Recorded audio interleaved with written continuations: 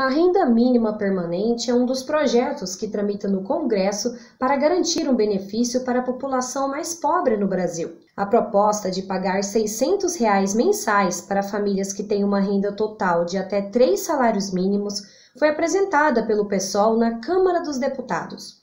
O texto sugere que a taxação de grandes fortunas seja um dos recursos para manter o programa.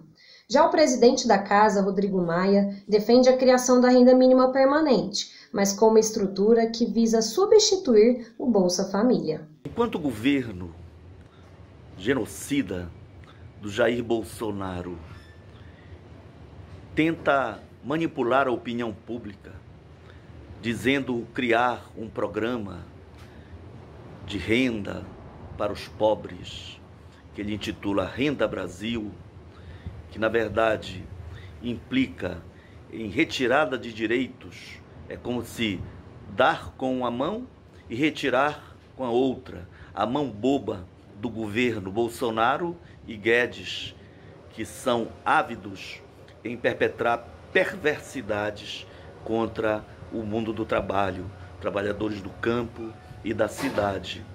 Enquanto isso, o pessoal apresenta uma proposta de renda básica que viabilizará o mínimo de dignidade às milhões de famílias. O Brasil ocupa o sétimo lugar no ranking mundial de desigualdade social. Caso o projeto apresentado seja aprovado, 25% das famílias brasileiras seriam beneficiadas. O grande embate sobre a proposta da renda mínima permanente são os meios que serão obtidos os recursos para manter o programa.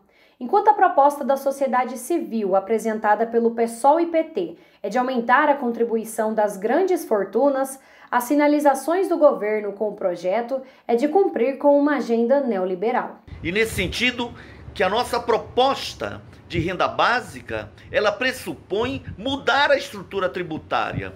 A estrutura tributária tem que ser progressiva, ou seja, os pobres têm que pagar menos porque são pobres.